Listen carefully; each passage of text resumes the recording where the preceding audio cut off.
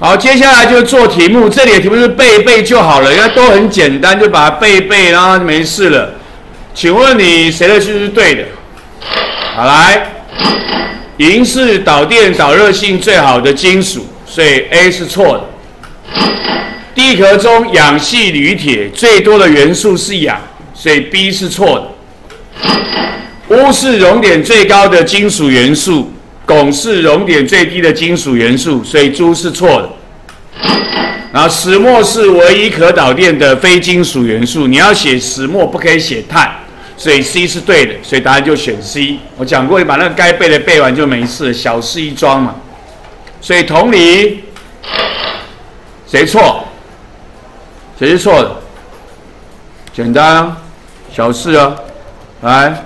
我们找大帅哥或者是大美女，第一次抽嘛，帅哥也行，美女也行。这个人叫做三号，谁啊？你选猪啊？你说，你答案选的叫做猪耳。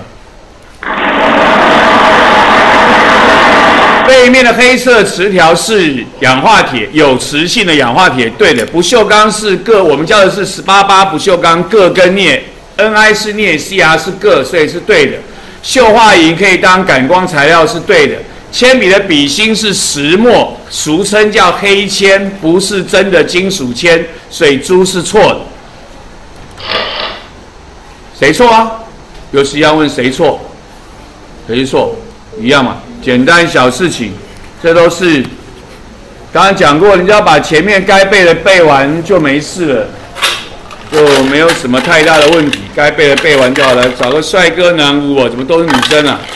男生有吗？有，三十二，三二。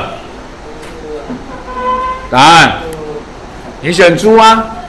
你也选猪哦，两个答案都猪哦，好吧？答案选猪。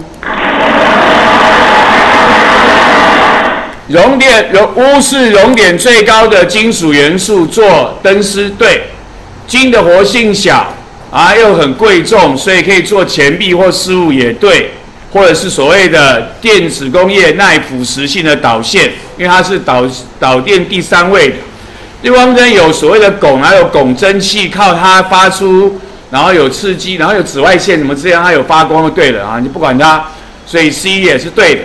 那么猪呢？马口铁镀锡用来做罐头，白铁镀锌，所以呢，这个应该是马口铁要镀的是锡，所以猪是错的，所以答案选猪啊。最重要是很简单，把前面告诉你该背的事情背完，记一记这些题目，你就通通都会了，没有背的背起来就好了，可以吗？